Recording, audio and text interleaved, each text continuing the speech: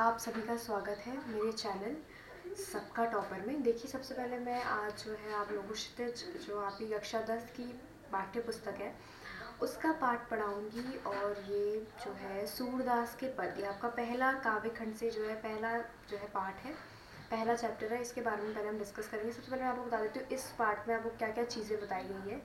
देखिए, आपको थोड़ा सा मैं पहले इंट्रोडक्शन बताऊँगी, इस वीडियो लेक्चर में आपको क्या क्या बताऊँगी, पहले आप ये समझ लीजिए।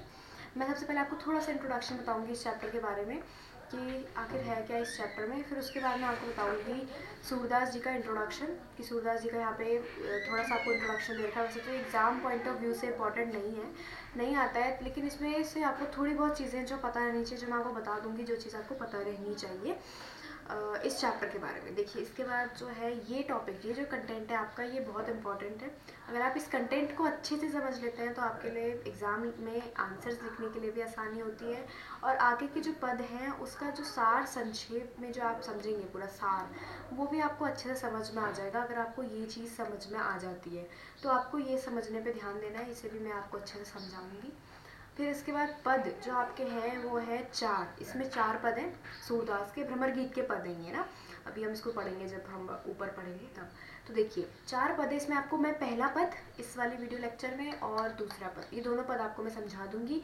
और तीसरा और चौथा जो पद है, वो हम दूसरे लेक्चर में कवर कर लेंगे। वैसे तो ये बच्चों को टफ लगता है। मैंने ऐसा सुना है, पर ये बिल्कुल भी जो है टफ नहीं है। ये बहुत आसान जो है चैप्टर है। एक बार आप समझिए और वैसे भी लिखना है आपको अच्छे से इसको।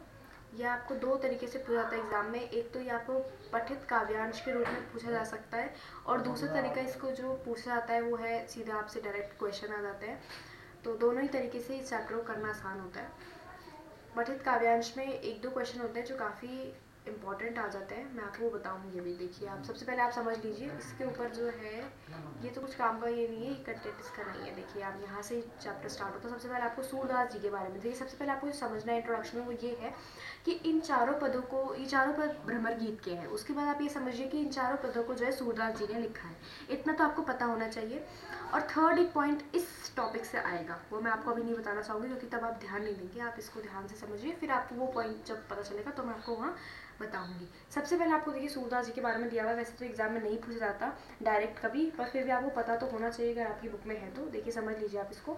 सूरदास का जन्म सन 1478 में माना जाता है। माना जाता है इसलिए बताया गया है क्योंकि ये अभी तक हमें जो है इसका मतलब अच्छे से नहीं हमें पता है तो इसलिए माना जाता है गया है। एक मान्यता के अनुसार उनका जन्म मथुरा के निकट रुनकता या रेणुका क्षेत्र में हुआ, जबकि दूसरी मान्यता के अनुसार उनका जन्म स्थान दिल्ली के पास सी ही माना जाता है। तो ये बताया जा रहा है आपसे कि दो जो है इसमें मान्यताएँ हैं, इसका कोई कन्फर्म हमें नहीं पता है तो इसलिए मान्यताएँ बताई जा रही है कि इनका, क्योंकि फोर्टीन ये बहुत पुरानी बात है तो कोई मान्यता ऐसी बताई जा रही है आपको दो ये दो मान्यताएँ हैं।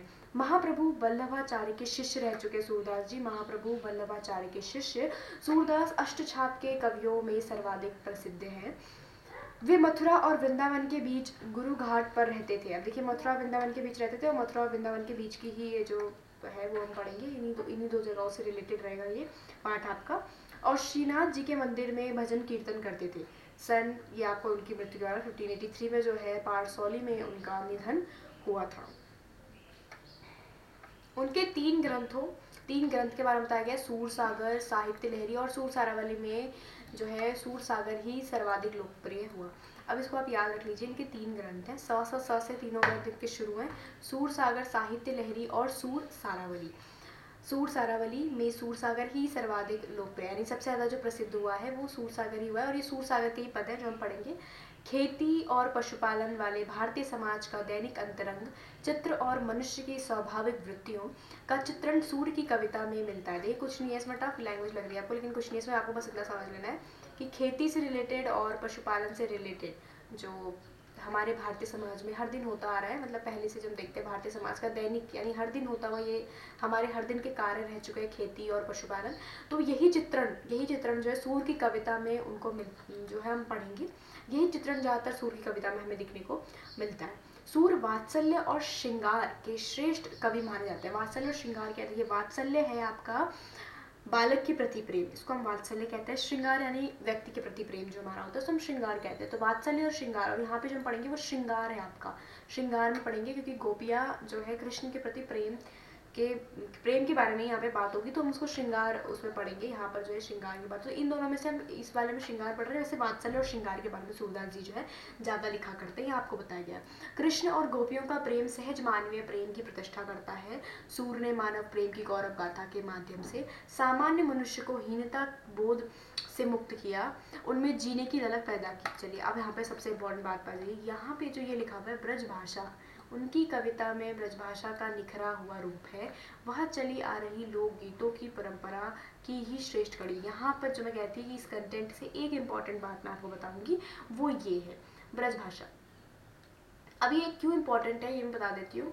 वन मार्क के क्वेश्चन तो नहीं आते आपके हिंदी में, लेकिन ये जब आपसे अगर इस पार्ट से कथित सॉरी पठित वो आ जाता है, काव्यांश अगर आपका आ जाता है इस पार्ट से तो उस पठित काव्यांश में आपसे ये पूछा जाएगा कि इस काव्यांश को किस भाषा में लिखा गया है। ये आपसे पूछा जाता है, जब आप, आपके पास पठित काव्यांश आता है, यदि आपके पास पठित गद्यांश आता है तो उसमें आपसे शैली पूछी जाती है। तो यहाँ पर आपको ये पता होना चाहिए कि ब्रज भाषा में ये जो कविता है, वो लिखी हुई है। ये आपको पता होना चाहिए, ब्रज भाषा जो वृंदावन साइड की भाषा है तो ये आपको इसलिए पता होना चाहिए कि ये आपसे वन मार्क में पूछा जाता है, जब आपके पास पठित काव्यांश आता है कि कौन सी भाषा में लिखा गया? तो ब्रज भाषा में लिखा गया। ये कंटेंट इंपॉर्टेंट है, इस पूरे कंटेंट में। बाकी आपको ये पता होना चाहिए कि सूरदास जी की तीन जो ग्रंथ है सूर सागर साहित्य लहरी और सूर सारावली ये सूर सागर उनका सर्वाधिक जो है, लोकप्रिय प्रसिद्ध रहा है और ये तीन उनके जो है ग्रंथ है। ठीक है? इतना आपको पता होना चाहिए। और थोड़ा सा अगर आपको और याद रखना है तो ये याद रखिए, महाप्रभु वल्लभाचार्य की ये शिष्य रह चुके हैं सूरदास जी। और इनके पदों को सूरदास जी ने लिखा है लिखा है। अब यहाँ पर जो आपके पास एक इंपॉर्टेंट चीज़ ये आती है ये देखिए, मैं थोड़ा सा बताती हूँ आपको। ये जो कंटेंट है, काफ़ी इंपॉर्टेंट है आपके लिए। ये समझना आपके लिए ज़रूरी है। इससे आपको इंट्रोडक्शन मिलेगा और कंक्लूजन भी इसी में है। देखिए, यहाँ सूर सागर के भ्रमर गीत से चार पद, मैंने बताया था ना सूर सागर के भ्रमर गीत से चार पद लिए हुए हैं यहाँ पर। चार पद लिए गए हैं।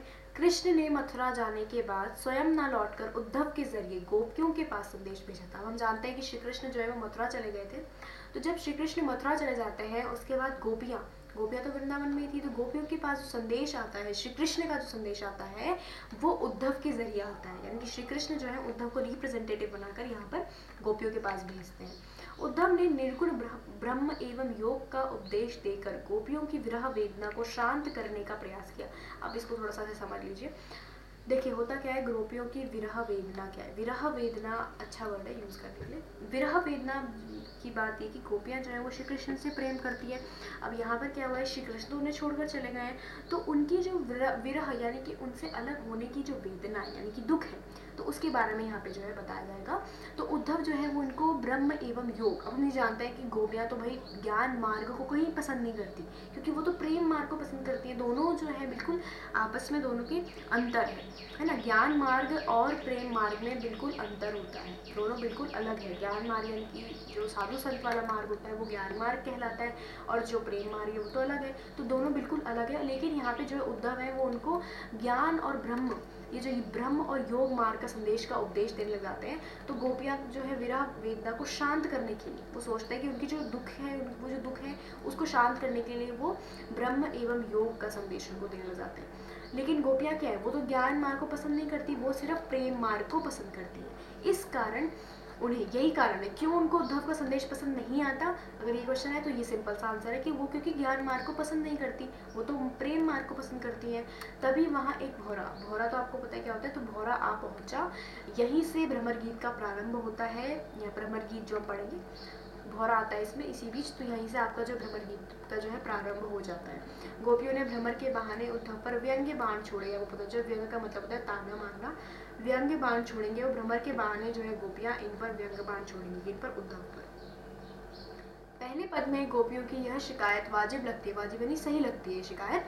यदि उद्धव कभी स्नेह के धागे से बंधे होते तो वे विरह की वेदना को अनुभूत अवश्य कर पाते यानी कि यदि उद्धव का विजय प्रेम मार्ग में, यानी कि श्री कृष्ण के प्रति यदि उद्धव को भी बिल्कुल उस वैसा ही अनुराग होता, जैसे गोपियों का है तो उनको दुख होता जैसे आज वो विरह की वेदना में, वैसे वो भी विरह वेदना को अनुभूत कर पाते एक्सपीरियंस कर पाते। दूसरे पद में गोपियों की यह स्वीकारोक्ति की उनके मन की अभिलाषाएँ मन में ही रह गई।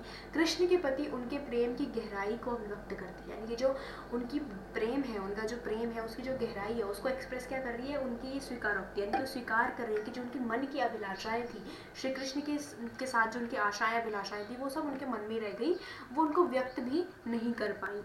तीसरे पद में वे उद्धव की योग साधना को कड़वी ककड़ी जैसा बताकर अपने एक निष्ठ प्रेम में दृढ़ विश्वास प्रकट करते हैं कि कितना उनको जो है प्रेम है, वो ये कहते हैं कि उद्धव की जो योग साधना है, बिल्कुल कड़वी ककड़ी के समान है। ककड़ी यानी कि जो फल होता है, वो सब्ज़ी टाइप की होती है, वो एक जैसा खीरा होता है, थोड़ा वैसा ही होता है तो कड़वी ककड़ी के समान है।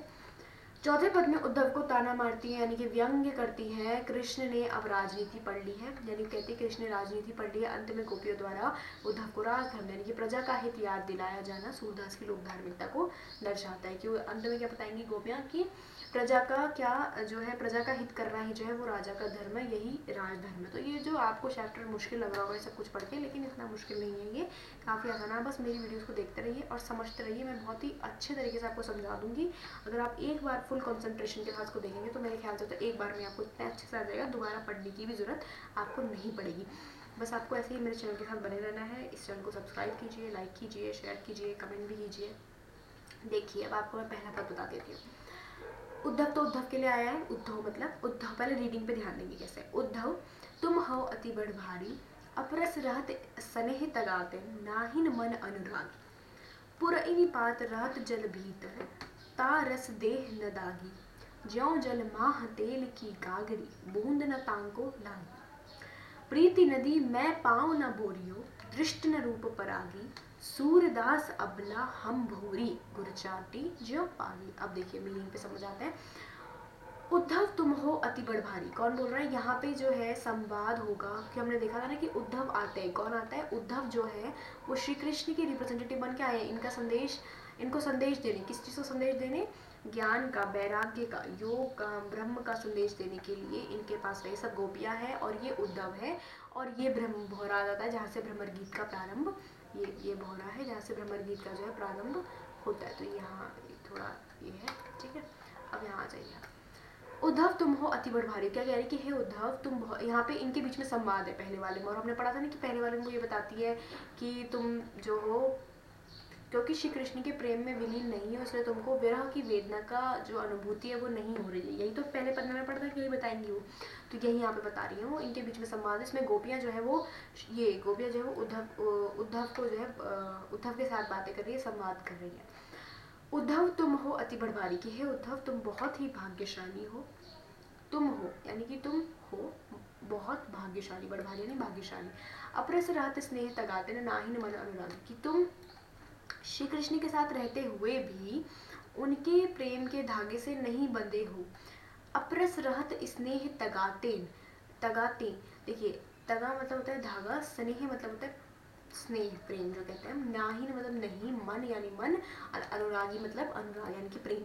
तो उनके साथ रहते हुए भी, अपरस रहत रहत यानी रहते हैं वो। उनके साथ रहते हुए भी तुम उनके प्रेम मार, प्रेम में क्या हो? उनके प्रेम में बिल्कुल भी नहीं मिले उनको तुम्हें, तुम जो उनके प्रेम मार्ग में नहीं गए हो, देखो। अपरस रहत स्नेह तगाते ना ही मन अनुरागी यानी कि उनके साथ रहते हुए भी तुम्हारा मन जो है, उनके अनुराग में नहीं आया है, उनके प्रेम में नहीं आया है। अब यहाँ पे दो एग्ज़ाम्पल आपको दिए, पुरानी पात के और यहाँ पे तेल की गगरी के। इससे क्वेश्चन आता है डायरेक्ट क्वेश्चन एग्ज़ाम में तो ये आपको याद रखना है। पुरैनी पात रहत जल भीतर, यानी कि जो कमल का पत्ता है, वो जल के भीतर रहता है। हम सब जानते हैं कमल का पत्ता जल के भीतर रहता है। ये ये इन पे व्यंग कर रही है ना? कौन? गोपियाँ जो है, वो उद्धव पर व्यंग कर रही हैं। तारस देह न दागी। जो कमल का पत्ता है, वो कहाँ रहता है? जल में रहता है, लेकिन उस पर बिल्कुल भी जैसे हम देखते हैं जो कमल का पत्ता होता है, जल में रहते हुए भी उस पर बिल्कुल भी कीचड़ का जो एक भी बूंद है, बिल्कुल सा छूता रहता है वो।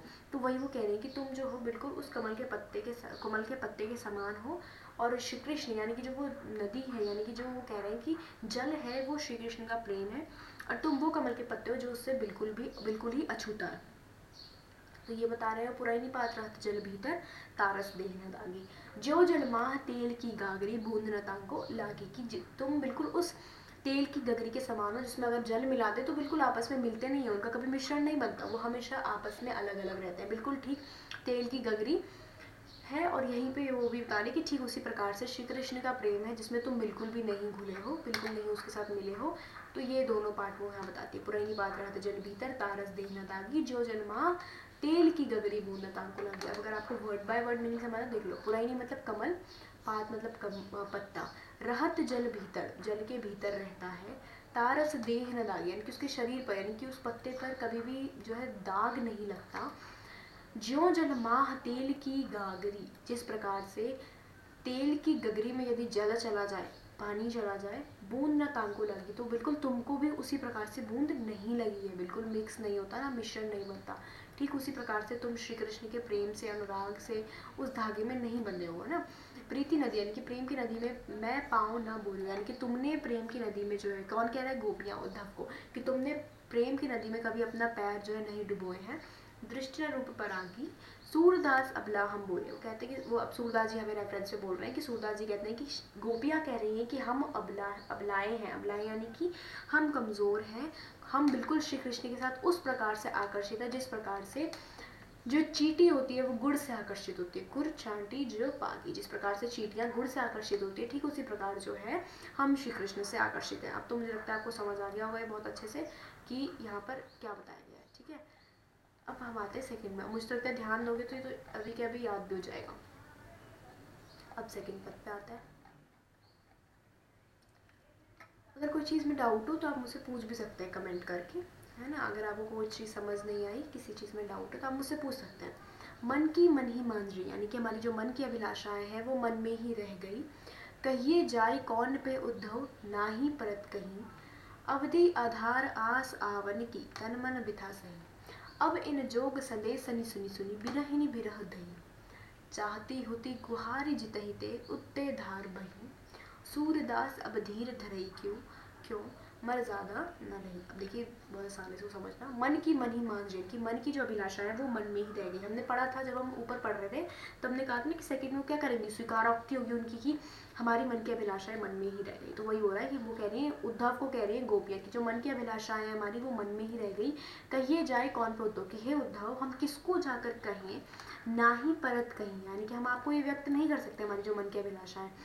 अवधि, आधार, आस, आवन की तन मन बिता सही यानी अब ये लाइन जब समझ लो। अवधि, आधार, अनुप्रास अलंकार अवधि, आधार, आस, आवन की। अब यहाँ पे इस लाइन में मिस्टेक करते हैं बच्चे। अब देखो ऐसे समझ लो।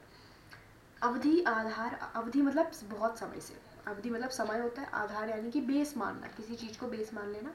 आस मतलब आशा है। आवन यानी आना। अवधि, आधार, आस, आवन की।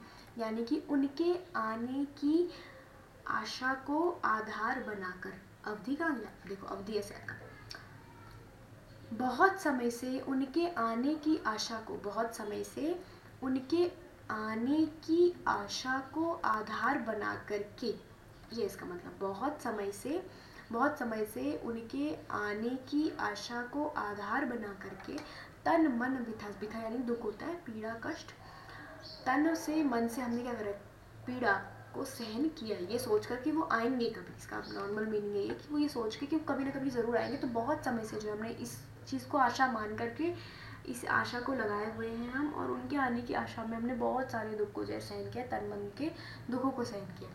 अब इन जोग संदेश सुन सुन सुन कि अब इस प्रकार के जोग के संदेश को सुन सुनकर बिरहिनी बिरहदई बिरहिनी यानी होता है हमारा जो दुख है वो और बढ़ रहा है। हम दुख की आग में जलने लगे हैं। चाहती होती गुहार ही जितनी थी। जितना भी हम उनको गुहार लगा लें, उतने धार भी अब इसका मैं मीनिंग बता देती हूँ। चाहती हूँ यानी कि गुहार हम जितना लगाए तो आएँगे नहीं, है ना? अब यहाँ पे जो है ना, इसका दूसरा एक मीनिंग बनता है। चाहती होती गुहारी उतने धार भी यानी कि यहाँ पे उन्होंने क्या बताया कि बिना ही नहीं बिरा दही यानी कि दुख, उनका जो दुख है वो और बढ़ गया बिरा ही नहीं बिरा दही दुख बढ़ गया उनका और।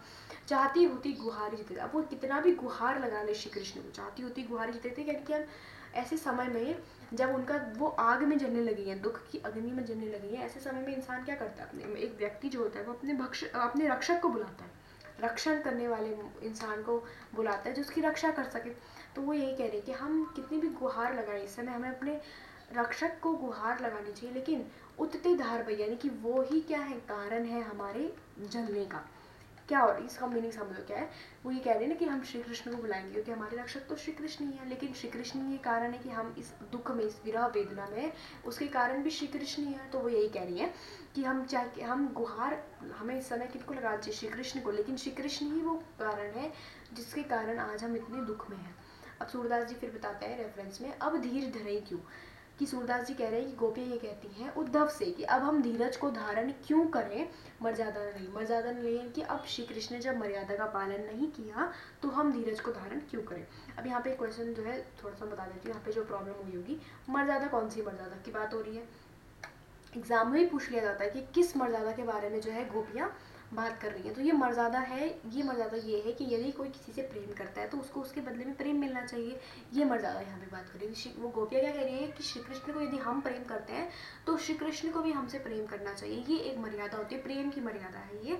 तो ये मर्यादा जो है, श्री कृष्ण ने नहीं निभाई है, इसमें नहीं रहे वो क्यों?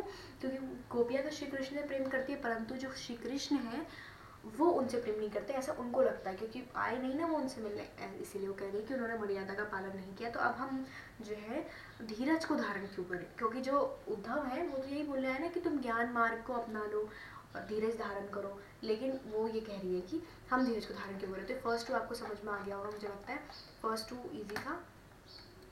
फ़र्स्ट आपको अच्छे समझ में आ गया होगा पूरा मैंने आपको समझा दिया है। पद एक में हमने देख लिया कि कैसे दो एग्ज़ाम्पल इंपॉर्टेंट है पुरानी पात वाला और जो जन्मा ये दोनों एग्ज़ाम्पल समझ लेना। गुड़ चाटी जो पागी ये जो पार्ट है, ये भी आता है उसमें। जब वो कहती है ना कि गोपियाँ जो है अपनी तुलना किससे करती हैं, तब बता दें। गोपियाँ दो तरह से करती हैं अपनी तुलना। अभी तो चैप्टर जब खत्म होगा तो होगा तो मैं आपको एक एक और इसमें वो दूँगी, जिसमें आप बता दूँगी मैं सारे वीडियो दूँगी। इसमें आपको सारे इंपॉर्टेंट जो क्वेश्चंस बन सकते हैं, वो बता दूँगी अगर होगा तो। कि आपको चाहिए होगा तो आप कमेंट भी कर सकते हैं। ठीक है, ये ये इतना हो गया आपके, ठीक है, ये कर इंट्रोडक्शन आपको समझ में आ गया है, ये पार्ट आपको समझ में आ गया है। पद एक, जिसमें हमने देखा कि कैसे वो यंग कर रही हैं, ताना मार रही हैं, उद्धव के साथ संवाद कर रही हैं, और दूसरे पद में हमने ये देखा कि वो कैसे स्वीकार करें जो हमारी मन की अभिलाषा है मन में ही रहेगी, क्योंकि श्री कृष्ण आए नहीं, श्री कृष्ण अपने मर्यादा का पालन नहीं किया, ठीक है, ये सब हमने दो पद पढ़ लिए। अब मैं आपको तीसरा पद जो है, वो दूसरी वाली वीडियो में पढ़ाऊँगी, ये हमारे हरिहारल की लकड़ी वाला जो है। ये पद भी काफ़ी आसान है। आपको ये पूरा कवर हो जाएगा। दोनों चैप्टर ये ये वाला चैप्टर कवर हो जाएगा। फिर मैं आपको परशुराम संवाद वाला जो चैप्टर है, वो भी समझा दूँगी। तब तक के लिए आप हमारे साथ बने रहिए। हमारे चैनल को जो है, आपको सब्सक्राइब करना है सपोर्ट भी करना है हमें, क्योंकि अभी नई वीडियोस आ रही हैं तो थोड़ा मुश्किल भी है। तो आपको थोड़ा सपोर्ट भी करना है हमें और सब्सक्राइब भी करना है। कमेंट आप करिए, आपको अगर कोई चीज़ समझ नहीं आती है, कोई सजेशन है आपको तो वो भी आप कमेंट कर सकते हैं, कुछ और अच्छा करने का। So please like share and subscribe our subscribe our channel Thank you so much.